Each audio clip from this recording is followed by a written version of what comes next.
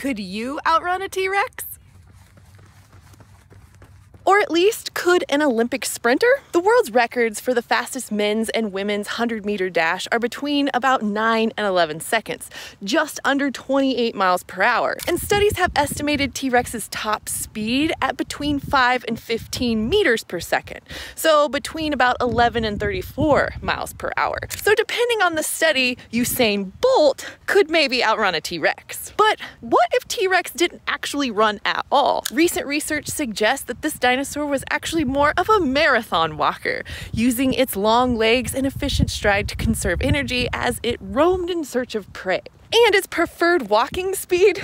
Just under three miles per hour. And an average human walking speed is between three and four miles per hour. So it looks like you might actually be able to outwalk a T Rex. I'd be running, but hey, you do you. Must go faster.